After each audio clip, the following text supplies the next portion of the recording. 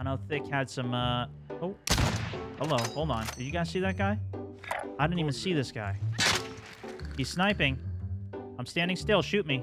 All right. He's just going to run around. He's not even going to shoot me. I'll give you another chance. Get back on your feet here. Re-heal up. I'm not even going to move. You know exactly where I'm sniping from, brother. Let's go. Are you... No, dude!